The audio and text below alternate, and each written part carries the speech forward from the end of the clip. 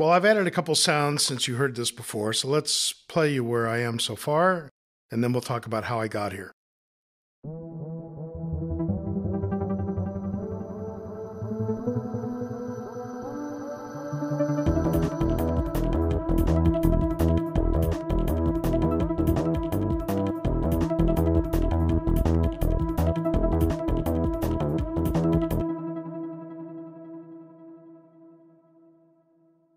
So I decided that it needed an opening before the rhythm came in. First, I decided that the rhythm shouldn't come in until those graphics start to pop on. And so I made that choice.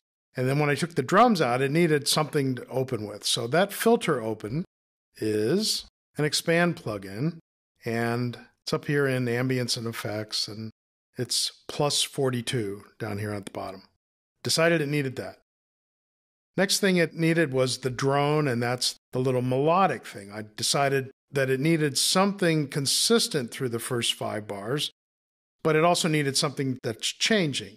And so, because I decided to write it in E, no particular reason, I decided that I would go from E to G to A to B to D and then back to E, like this.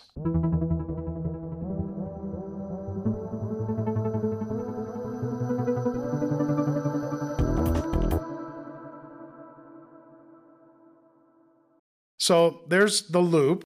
That didn't change from the last time you heard it.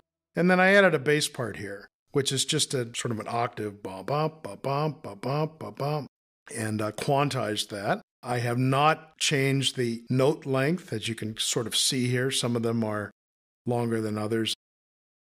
The bass is being played by an instrument, the synth that we haven't seen yet, called Vacuum. It's a very big little guy, huh? And there are lots of patches for bass. I just chose the simple bass, but there are lots of other choices you have here. So that also ships with Pro Tools 11 and is a real nice analog sort of modular synth. Those are the choices so far. Oh, one other thing I did. The loop did change a little bit. The original pitch of this loop was and the tabla was tuned against my dominant pitch of E. So I decided that I would. I'm, I'm walking up the keys now.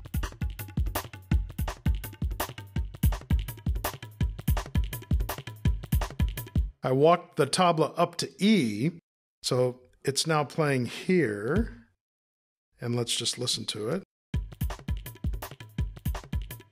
And if we listen to it with the drone, So, does it matter if your tabla is tuned to your drone? Well, maybe not, but why not, right? It makes uh, sense if you can do it to have everything getting along in your session. So that's how I chose the sound palette for this one. I did want to show you one more thing about scoring video. Really isn't anything I want to add to this, but let's just talk our way through this and you'll see what I mean.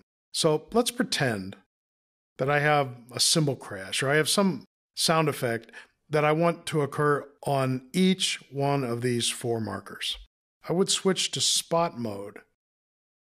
Let me give myself a new track. Shift Command N, and this is going to be a new stereo audio track.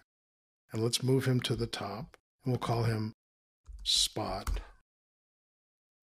Find something. This is clearly not the right sound, but I will bring it in just to show you the process here. And I'll put it in the clip list.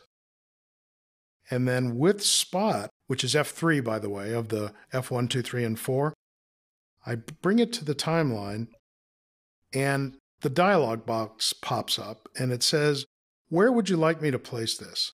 Is it a bar and beat reference? If this beach ambience were, pretend with me now, the background vocal of the chorus that happened every time the chorus happened?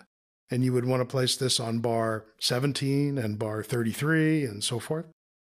So is it reference to that or is it reference to a particular time code? Is it where you're dropping it or you type in the time code here and then it places it exactly where you want it to be.